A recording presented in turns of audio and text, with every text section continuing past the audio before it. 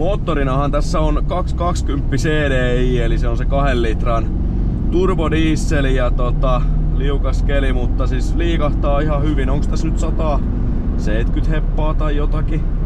Että tota, ihan hyvin tää liikahtaa, kunhan ei sudi. Et tietenkin takavetosella välillä joskus joku liikenneympyrät ja muut voi olla vähän, vähän tahmeita, mutta se nyt kuuluu siihen lajiin. Mutta tää auto liikkuu itsessään kyllä ihan, ihan todella, todella mallikkaasti. Täällä on tällä hetkellä 21 pakkasta ja puhaltaa ihan mukavasti kyllä sisälle, että siinä mielessä tarkenee.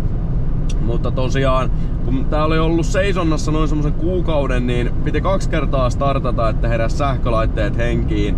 Mä laitan sinne ilmoitukseen siitä maininnan, mutta nyt tuntus kaikki, kaikki toimivan, eli todennäköisesti olisiko ollut vaan tyhjä akku sitten tai, tai kylmä, kylmä tai jotakin muuta. Eli jostain syystä kun mä starttasin tän ennen videota, niin öö, silloin kun starttas kerran, niin lähti käyntiin, mutta ei sähkölaitteet toiminut. Eli sitten kun antoi käydä hetken aikaa starttas uudestaan, niin sit syttyi mittaristot ja kaikki muut. Eli voi olla, että oli akku vaan tyhjä tai jotakin muuta.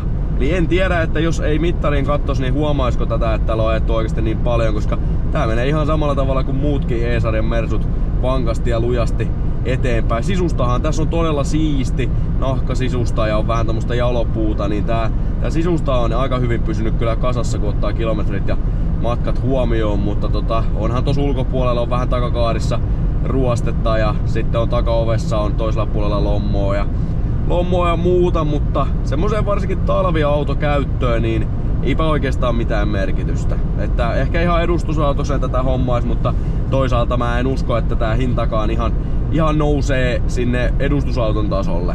Et mä sanoisin, että mullahan pyytihinta tästä oli vähän vajaa 3000 euroa, että jos sinne suunnalle pääsee, niin mä oon tyytyväinen, mutta mun mielestä jos huutokauppaa jotain laitetaan, niin se myydään eniten tarjoavalle vähän omalla riskillä, että toivotaan, että menee hyvää hintaan kaupan, jos ei mene tulee turpaan, niin voi sanoa, että oli ainakin erittäin hyvä videosarja. Että ei näistä, ei näistä siinä mielessä ressiä kannata ottaa.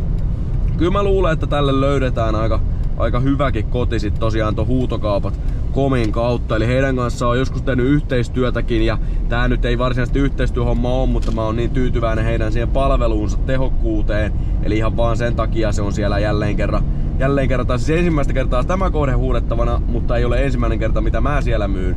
Eli siis on siellä monta kertaa ollut mulla, mulla kohteita ja video alapuolelta löydätte sitten sen linkin, mistä pääsette huutamaan. Ja muistakaa, tarjoukset on sitovia, eli se kuka sen korkeamman tarjouksen tekee, niin sille se auto myydään siihen rahaan. Ja se on sitten voi voi, jos menee tarjoamaan liikaa ja sitä rataa niin edespäin. Tämänkin mä ostin tosiaan huutokaupasta eniten tarjoavalle ja maksoin ehkä vähän liikaa ottaen huomioon, että tästä puuttu takaa pussit.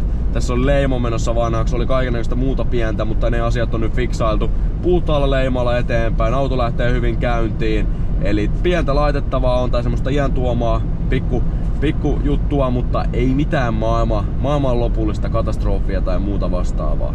Rönttämersu on ollut siis mulla itselläni noin kolmen kuukauden ajan, eli siis silloin lokakuun alussahan tää tuli haettua Lappeenrannasta ja silloin mä tein siitä ekan video ja voin sanoa, että kyllä tää suosio yllätti vähäsen.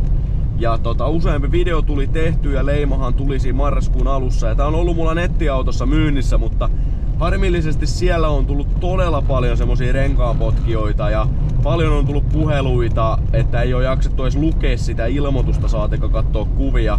Niin mua alkoi pikkuhiljaa vähän turhauttamaan se, että kyllä mä nyt uskoisin, että tämmönen fiksuussa kunnossa oleva kuitenkin leimattu auto niin menee jossain kohin kaupaksi, kun hinta on semmonen fiksu. Mutta tota, sitten se, että paljonko siellä oli aivan semmosia perättömiä ja turhanpäiväisiä niin yhteydenottoja, niin se alkoi mua vähän niin kuin risomaa ja sit mä ajattelin, että hetkonen, että miksei sitä lyödä vaan huutokauppaan suoraan, niin päästäis kerralla eroon sitten, niin tota, eniten tarjoavalle kun laitetaan, niin saa varmasti sen markkinahinnan mukaisen ja tota, ei tarvi jäädä sitä sitten voivottelemaan sen enempää.